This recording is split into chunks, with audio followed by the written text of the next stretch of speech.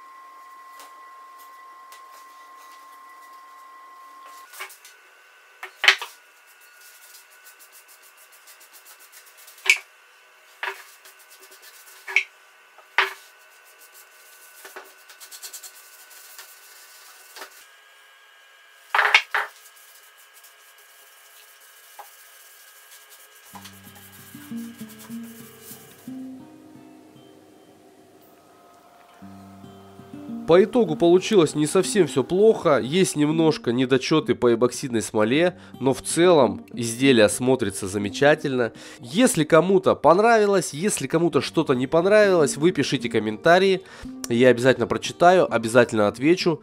Э, обязательно ставьте лайк, не забудьте про колокольчик, это очень важно, если вы хотите смотреть дальше видосы. Э, на этом все, всем пока, до скорой встречи.